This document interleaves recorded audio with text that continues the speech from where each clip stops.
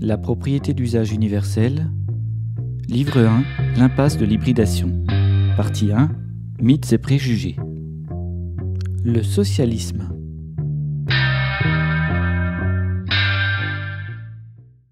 Mais ce n'est pas tout. Nous avons un véritable problème de vocabulaire. Ce qui est nommé socialisme englobe plusieurs visions politiques sous un même mot. Pour commencer, celle de M. Friedrich Hayek est la suivante. Dans cette acceptation, le mot socialisme signifie abolition de l'entreprise privée, de la propriété privée des moyens de production et création d'un système d'économie planifiée où le chef d'entreprise travaillant pour un profit est remplacé par un organisme planificateur central.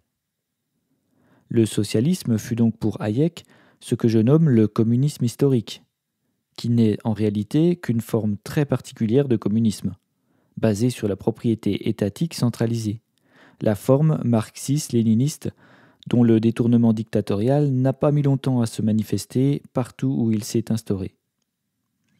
Dans un tout autre registre, le socialisme était aussi un mot utilisé par les fascistes, hybrideurs en bottes de cuir, pour désigner leur vision particulière de l'intérêt commun. National-socialismus ou nazi ne contiennent-ils pas le mot socialisme? Pourtant, ces régimes n'ont pas été connus pour l'émancipation de leurs travailleurs, ni pour leur distribution généreuse du travail abstrait. Ils ont en revanche utilisé la propagande sémantique socialiste pour motoriser leur désir de guerre et d'extermination. Ensuite, nous avons les fourriéristes, utopistes de l'attraction passionnée ou autres perles ontologiques, socialistes paternalistes, qui voulaient nous enfermer dans leur phalanstère, leur cité radieuse construite pour notre joie. Jean-Baptiste André Godin, propriétaire lucratif d'une usine de fourneaux, vécut en huis clos avec ses employés dans son familistère de Guise, sans jamais les rendre propriétaires. Quelle émancipation remarquable, quelle avancée sociale. Nombreux sont les socialistes de papier qui refusent de rendre l'outil de travail aux travailleurs, qui refusent le propriétariat. Ils aiment la socialisation lorsqu'elle maintient en vie ou finance leurs utopies, sans toucher à leurs privilèges, pour se donner une goutte de bonne conscience dans un océan de propriété lucrative. Ils sont inutiles à la cause du peuple, dans le sens où ils dénient toute remise en cause totale du mode de propriété, et n'ont à la bouche que les mots taxes, impôts et régulation. Ils s'offusquent de la richesse des milliardaires et croient rétablir la justice en les taxant, tout en les laissant voler la même quantité de rente féodale. Blague, jamais on ne changera les dominations de cette manière. Et seule une redéfinition du mode de propriété peut venir à bout des injustices de la propriété lucrative. Ce que nous nommerons communément socialisme tient du simple principe de mise en commun, de socialisation d'une partie de la richesse en vue de sa redistribution d'une manière socialement définie.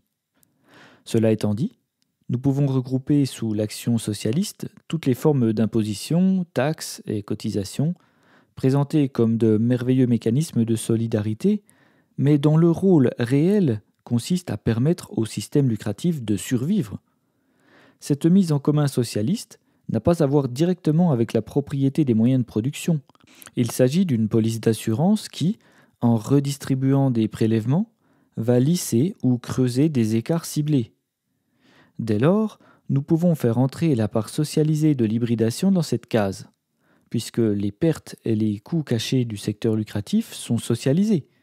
Et cette socialisation est un moyen technique de masquer les défauts structurels de la propriété lucrative débridée. Lorsque l'hybridation paye du chômage aux travailleurs artificiellement mis au banc, c'est à la fois parce que la survie de l'armée de réserve est indispensable, mais aussi parce que ce dernier va dépenser la somme socialisée dans les entreprises lucratives. Cette forme détestable de socialisme qui consiste à collecter l'impôt pour subventionner des marchés lucratifs et alimenter plus ou moins directement les rentiers, mène inexorablement à l'indéniable forme inégalitaire de notre présent. Les pays hybridés à fort coefficient socialiste, comme la France ou les pays du nord de l'Europe, sont moins soumis aux inégalités que les pays hybridés à faible coefficient socialiste, comme les États-Unis. C'est à la fois la preuve de l'existence de l'hybridation, de son rôle dans la compensation des inégalités inhérentes au capitalisme pur. Je ne parle même pas ici du rôle d'assurance banqueroute de la part socialiste du régime hybride, véritable filet de sécurité pour les propriétaires lucratifs.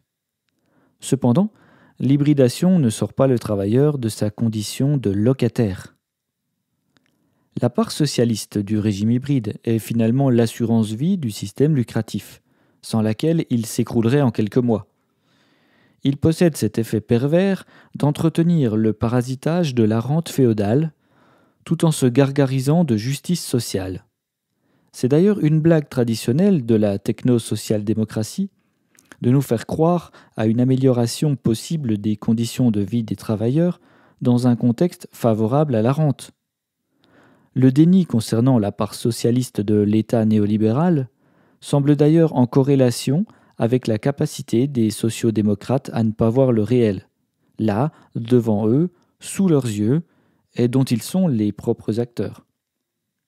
Comprenons que la défense de la liberté du marché dans un monde lucratif ne peut mener à l'effet revendiqué par la social-démocratie. Cette quête ne change pas le travail. Elle ne sort personne de la féodalité millénaire. Si la propriété privée lucrative peut disparaître complètement dans un régime de propriété étatique centralisé, le socialisme, à plus ou moins forte dose, est le référentiel commun à tous les régimes. Il matérialise une forme de sécurité pour les protagonistes du régime, sans laquelle toute la reproduction matérielle perdrait en efficacité. En cela, il possède un véritable rôle institutionnel. Ce matelas confortable maintient une forme de statu quo dans la répartition de la propriété, directement corrélée avec la répartition de la richesse. Ce n'est donc pas la dose de socialisme qu'il faut discuter, et encore moins le socialisme en tant que tel, mais la manière dont on accède à la propriété. La différence fondamentale qu'on peut donc retenir entre la propriété d'usage et la forme communiste historique est que la propriété d'usage socialise le financement de la propriété, au lieu de socialiser la propriété. Ce qui pourrait passer pour un détail sémantique bouleverse en réalité le rapport qu'on peut avoir au socialisme, puisqu'il transforme le locataire en propriétaire. Ainsi, le système devient non seulement libéral, par l'émancipation offerte à tout producteur de créer son entreprise, mais aussi égalitaire, puisque le financement subit une forme de socialisme et touche désormais tous les citoyens en âge de travailler.